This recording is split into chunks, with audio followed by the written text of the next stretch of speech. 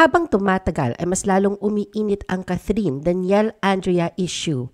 Paano nga ba nagsimula ang issue na ito? At ano ang mga kaganapan kamakailan na mas lalong nagpatindi sa mga haka-haka tungkol sa estado ng relasyon ni Daniel at Catherine at ang kinalaman dito ni Andrea? The Philippine Showbiz List presents detalye sa issue ni Daniel Padilla, Catherine Bernardo at Andrea Brillantes.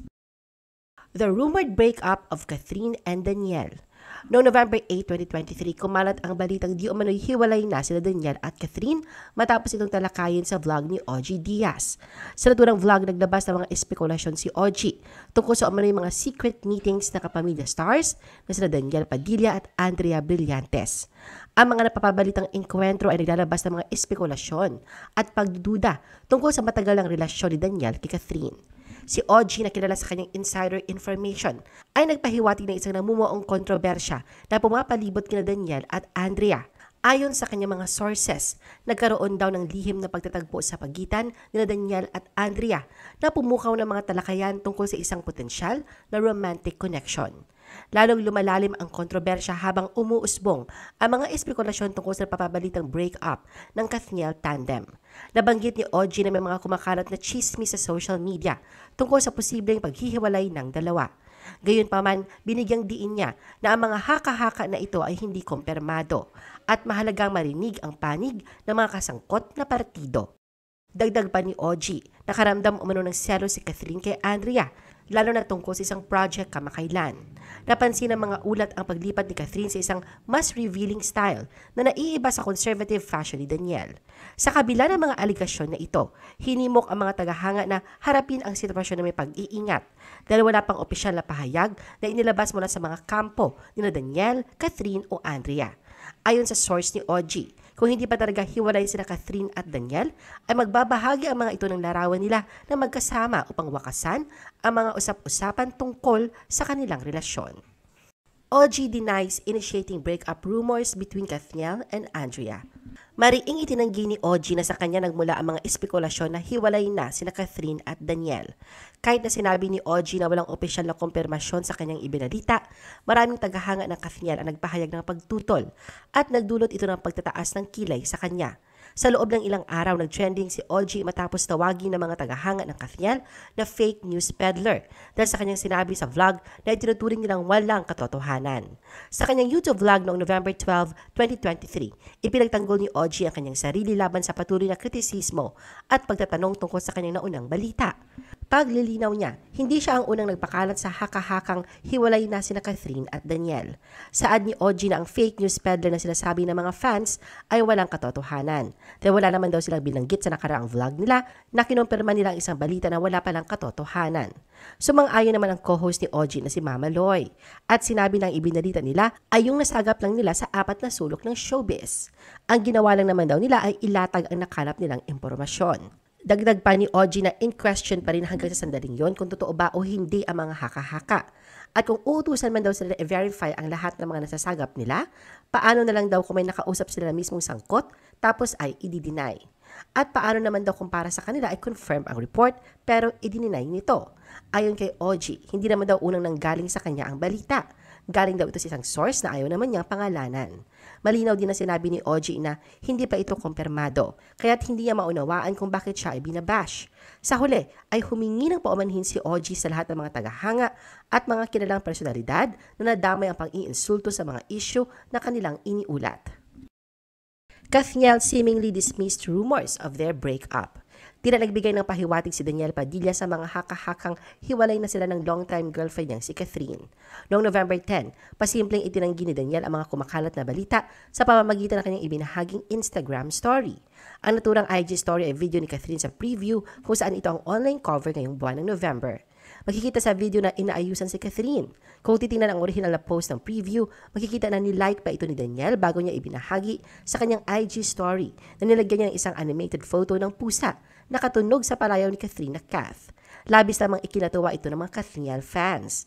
Komento pa ng isang fan na nadibang na ni Daniel ang breakup allegations ngayong taon. Matatandaan na naging issue rin ito ng mga nagdaang taon na hiwalay na raw ang dalawa na parati naman nilang napapatunayan na mali ang mga ito.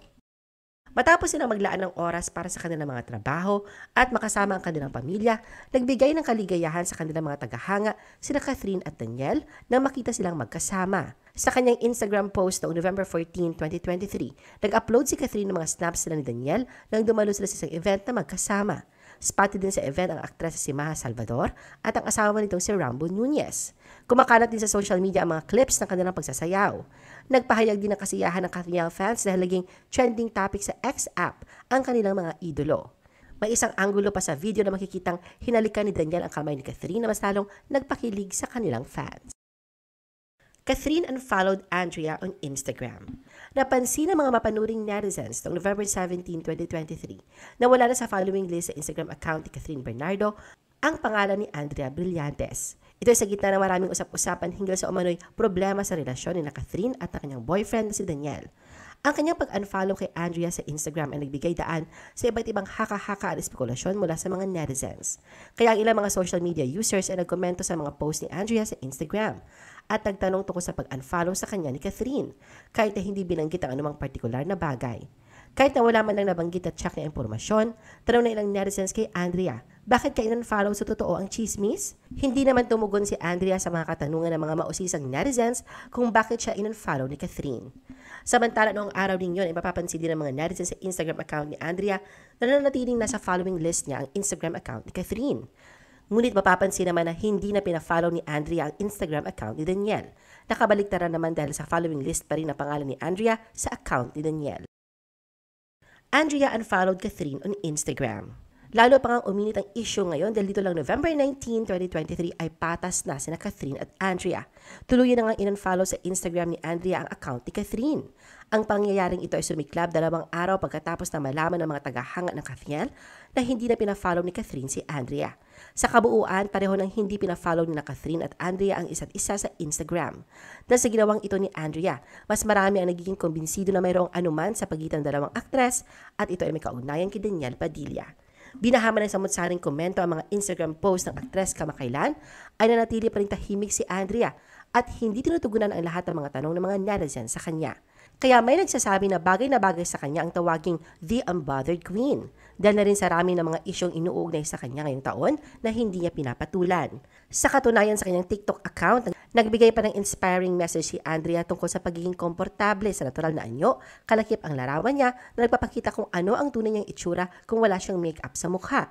Caption niya, Lubayan niyo dark circles ko at wala pa akong matinong tulog. Samantala, pinayuhan siya ng iba na huwag pansinin ang mga nagtutulak sa kanya sa mga issue na nadadawit sa kanyang pangalan sa rumored breakup ni Catherine at Daniel. At ngayong ang in-follow na rin ni Andrea ang Instagram account ni Catherine, tila mas pinapalakas pa nga nito ang mga haka-haka na may iringan ng dalawang aktres at, at tila may basihan na rin sa inilabas ni OG Diaz na balita tungkol sa Catherine. May ilang netizens naman ang nagtuligsa sa Katniel fans at sinabing mga nagmamarunong kasi ang mga ito at hindi man lang daw nila naisip na may dahilan ang lahat ng bagay. Totoo man o hindi. May isa rin ang nagsabi na sobrang mangdaw ng Kathnia fans tulad na lang ng pambabash nila kay OG dahil sa inilabas itong balita tungkol sa kanilang paboritong love team na kahit sa una pa lang naman ay may disclaimer na itong sinabi na hindi pa nga raw kumpirmado ang balita at galing yon sa kanyang source na hindi niya pinapangalanan.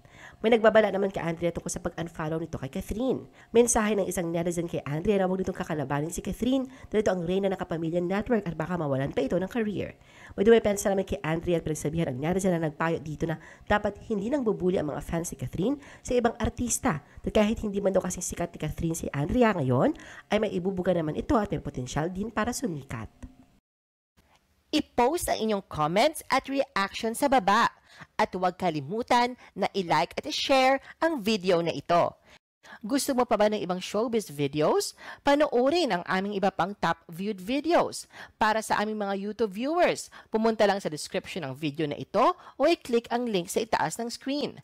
Para naman sa mga Facebook viewers, ay maaari ninyong hanapin ang mga link sa comment section ng video.